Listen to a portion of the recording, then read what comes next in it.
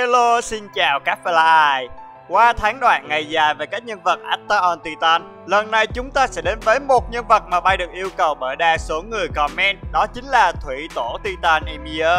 Tiếc làm sao, những phần có mặt bà ta khá ngắn Nên có lẽ tập này sẽ không được dài. Nào như mọi lần, nếu bay xa hay thiếu cái gì các bạn hãy comment ở dưới nghe. 1.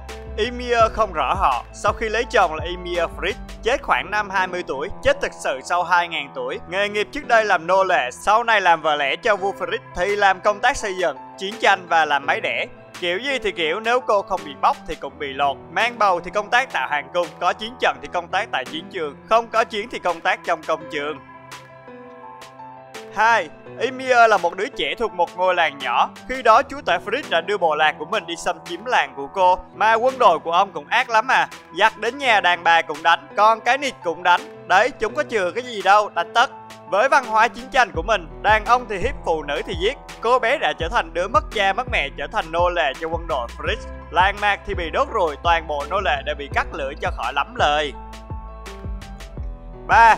Từ bé Emir khá là thèm thuồng ăn cơm chó. Hệ ở đâu người ta nuốt lưỡi với nhau Thì cô sẽ khẩn lại xem cho bằng hết. Cả cuộc đời ăn cơm chó. Đến tận 2.000 năm sau, cô vẫn còn được xem Mikasa với cái đầu của Eren thực hiện cảnh này mà cười mãn nguyện.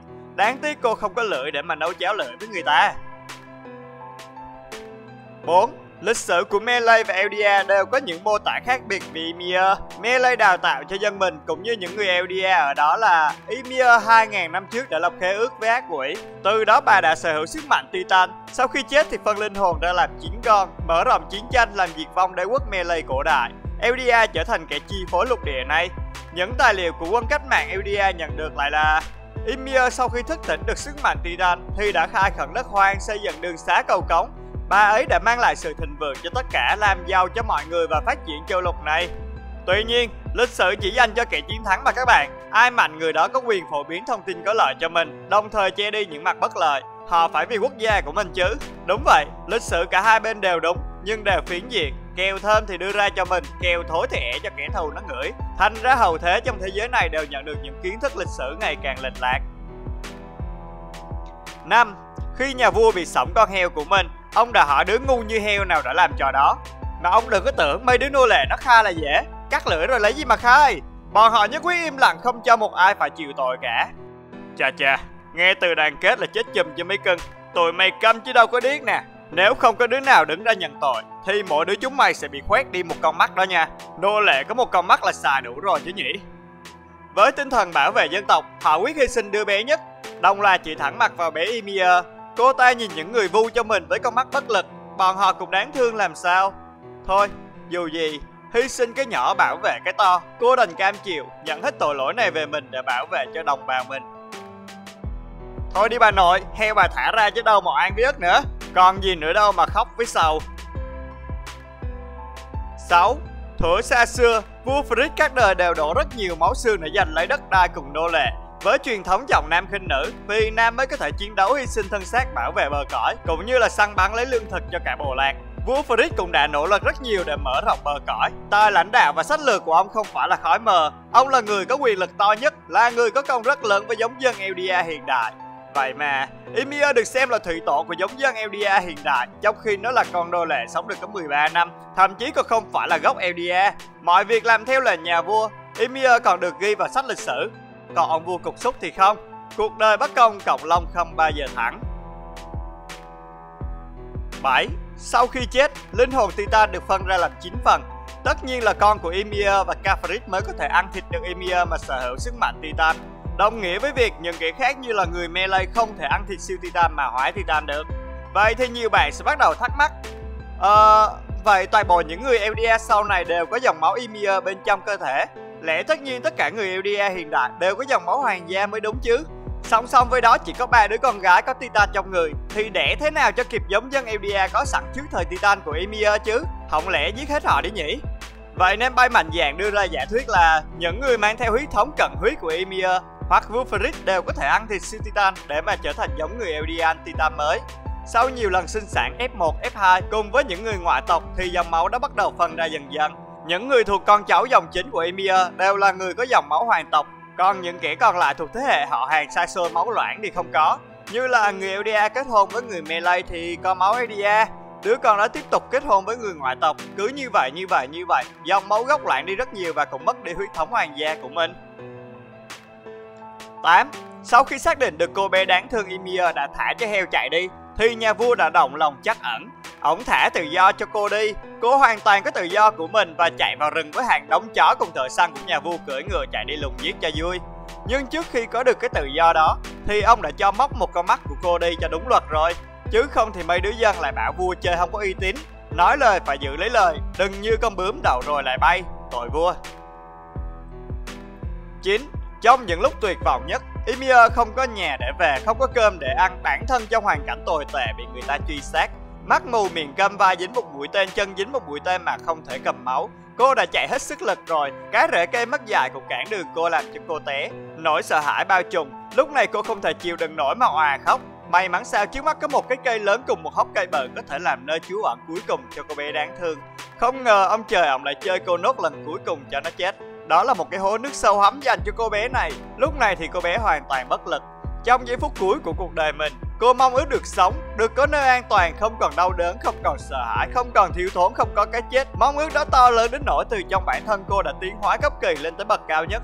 Một sinh vật đản sinh từ trong mong muốn của cô đã vây lấy cô, cho cô một thân xác bất tử khỏe mạnh, đó chính là Titan. Nó cũng cho cô một khu vực an toàn, đó chính là con đường. Từ nay cô không cần ăn uống, không cần sợ hãi vì không ai có thể động được vào cô nữa. Nếu có tổn hại thực sự, thì cô vẫn còn con đường để chạy trốn đến. Con rết của cô đã cho cô tất cả, nhưng không cho cô trí tuệ. Cô vẫn ngu như heo. Với cái ý chí nô lệ của mình, cô quay lại thần phục ông vua Kafrit và tiếp tục dùng sức mạnh của mình để phục vụ ổng suốt thời gian dài cho đến chết.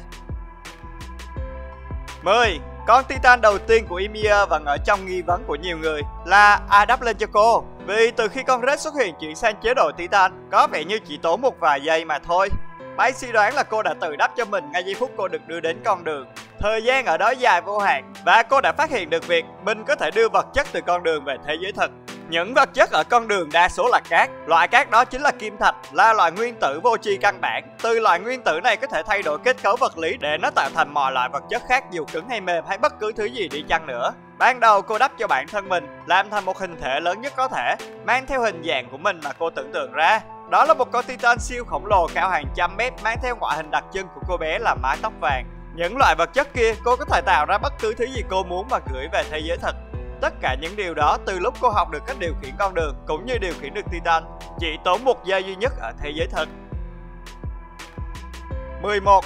Từ lúc cô bé có Titan cho đến vài năm sau thì ông vua ổng có thèm cô đâu. Nói trắng ra, vua là người ngay thẳng, không phải là thể loại lolicon biến thái các bạn ạ. À. Nhưng tầm 7 năm trôi qua thì cô bé bỗng nhiên ngon quá các bạn ạ. À. Cao lớn phỏng phao da trắng nõn, lập được nhiều công trạng lại có sức mạnh Titan trong người. Vua thèm quá chạy nước giả chép miệng một cái và dở trò đạo lý. À, ngươi đã làm rất tốt. Ngươi giúp ta xây dựng đường xá ừ, Khai khẩn đất hoang Bắt cầu qua những vách núi. Sự ban chướng của dân tộc Eldia chúng ta đã tăng lên đáng kể. Về phần thưởng Ta sẽ cho ngươi Được đẻ con cho ta. Thế là Emir ờ, bỗng dưng lại có chồng 12. Trong 5 năm vợ chồng với nhà vua thì vua cưng chiều cô bé hẳn, lâu lâu mới cho đi đánh nhau, đa phần là cho cô đẻ. Lấy chồng từ tuổi 13 đến năm 18 em đà ba con.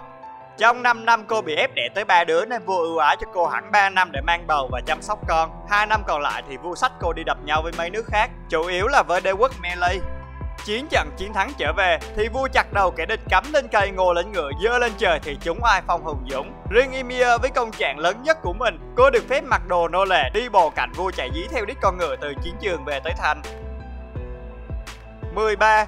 Vua thuộc dạng dẫn chơi trong tình cảm Thực chất là ông yêu quyền lực nên mới hạ mình cưới Ymir Trước Ymir chắc chắn là ông đã có nhiều vợ rồi Còn trong tâm lý những lúc Ymir nghĩ đẻ thì làm thế nào đây? Ymir lại khác à Cô yêu Vuka bằng tất cả trái tim mình, dưới tâm lý nô lệ và góc nhìn cuộc đời không thoát ra khỏi miệng giếng, Cô rất thèm muốn tình yêu qua những lần chứng kiến các cặp đôi lúc bé. Vậy nên cô có xu hướng tôn thờ yêu thương vua hết mực, Dù chọn còn mực hay là hết mực đi chăng nữa. Mặt cô cảm thấy khó chịu khi thấy mấy con quệ khác mặc đồ cho vua, Và cô cũng biết ông vua sẽ làm gì sau lưng mình. May mà cô kiểu Kudere, chứ kiểu Yandere thì xong cả lũ rồi.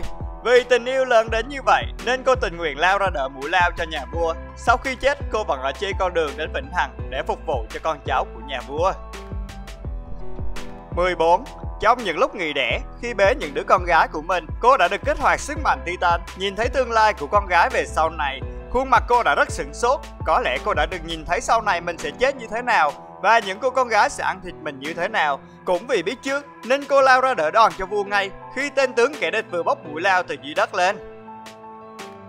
15. Trong 5 năm Ymir làm vợ vua, vua tranh thủ đẻ nhiều quá nên gần hết si quách. Cũng trùng hợp sau đó, Ymir bị đâm cho chết nên ngân, chứ không thì vua còn làm dụng lắm. Thêm chục đứa cũng cố đẻ, ép Ymir như máy đẻ vậy. À, ta gọi là máy đẻ Ymir.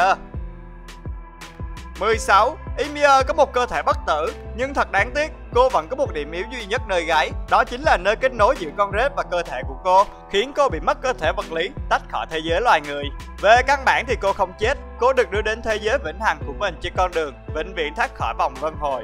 Ngày xác thịt của cô bị chết đi ở thế giới thực cũng trải qua 13 năm kể từ khi cô sở hữu Titan. Để kỷ niệm ngày trọng đại này, bất cứ thằng siêu Titan nào cũng sẽ chết vào năm thứ 13 kể từ khi sở hữu nó. Sự kiện này được gọi là lời nguyền của Ymir. 17. Sau khi chết lên con đường, cô vẫn được nhìn thấy mọi việc ở trần thế, bao gồm luôn cả việc chồng mình dùng dao chặt xác mình cho mấy đứa con mình ăn. Thấy ông vua già gần chết, vẫn căn dặn những đứa con của mình nhớ đẻ cho thật là nhiều để duy trì dòng máu Titan này. Sau khi chết lại cho cháu ngoại mình ăn tụy của các con mình, cứ như vậy vĩnh viễn về sau. Hào hùng và truyền thống dân tộc là thế, rứa mà đến đời chiến binh của mấy anh Rainer lại hóa Titan làm công cụ chiến tranh của phe địch. Dòng máu Eldia bá vương một thời trở thành dòng máu bùng dơ bẩn, nhục thế kia chứ lì. 18. Khi lên con đường, Ymir được trở lại hình dạng ban đầu của mình trong lần đầu tiên sở hữu Titan. Đó là một cô bé nô lệ rách rưới. Eren cũng giữ được hình dáng lúc bé của mình, thành một đứa trẻ hồn nhiên vô tư. Ngỡ rằng ai cũng vậy, nhưng có vẻ như nó chỉ là một option có thêm của người canh giữ con đường mà thôi. Mấy gã siêu titan này đều giữ lại dạng cuối của mình trước khi chết. 19. Ở trên con đường, Emir có mỗi một niềm vui bất tận là đắp các titan cho con cháu mình full thời gian. Trên này không cần ăn, không cần uống, không cần ngủ nghỉ gì cả. Full thời gian cô chơi đắp cát thôi. Chỉ có khoảng 3 thời kỳ mà cô cực ghét là ba siêu thời điểm làm phát titan. Lần đầu ở quá khứ, có đứa đã chơi trò titan thả rong. Hàng trăm nghìn con titan càng quét cả cái đế quốc melee, khiến chúng sắp tuyệt chủng. Bản thân Emir cũng đắp cát thấy mù nội luôn. Lần thứ hai là thằng cha Kafrit quắt một phát mấy triệu con titan thường rồi cái bọn đó phải được khóa cứng để đắp thành ba vòng tường thành hoàn chỉnh. Trời ơi, nó đã đông rồi mà con nào con ấy cao 60m Emir trên con đường đắp cát cũng muốn ọc cả máu mồm. Cô ngưng động thời gian ở trong đó đắp cát, chắc cũng mất cả triệu năm. Đến lần thứ ba, Eren nó xin luôn vị trí chủ sở hữu con đường, Nên nó tranh thủ đắp con Titan to bờ xịn sò nhất cho mình. Một con siêu Titan lớn chưa từng có, Nhưng có vẻ đang đúc dở thì nản quá, Nên lấy nguyên bộ xương đi càng cho nó lẹ. Ymir ờ, vẫn đóng vai trò hỗ trợ Eren nên cô phải đúc lại hàng ngàn con Titan hóa cứng trên lưng Titan của hắn ta. Đấy là chưa tính vô số lần hóa Titan lẻ tẻ, nên ngoài đời thực mới chỉ 2.000 năm trôi qua, mà ở trong đường cô cô đơn đã 2 triệu năm. 20. Cuối cùng, sau khi Ymir ờ, chứng kiến tình yêu say đắm của Mikasa đối với Eren, và Mikasa đã sẵn sàng hy sinh tình yêu của mình cho đại cục, cô mỉm cười hiểu ra rằng mình đã quá mê đắm trong tình yêu. Tình yêu của mình chưa phải là đích thực, từ đó cô nhẹ nhàng giải thoát mình khỏi con đường mà bước vào cõi luân hồi không còn phục vụ cho nhà vua nữa. Ôi bạn ơi, thằng Eren nó nó lừa bạn đã cướp con đường đấy. Nó đưa Mikasa qua một thế giới khác, rồi bạn mưu tinh kế ở đó đấy bạn ơi. Sau đó Mikasa mới biết rõ ràng cái đầu Eren ở đâu mà chặt đấy. Eren có bỏ Mikasa đâu, cậu ta vẫn hóa thành một con chim cực bờ đến chơi với Mikasa khi cô ấy cần mà. Mikasa thích lắm.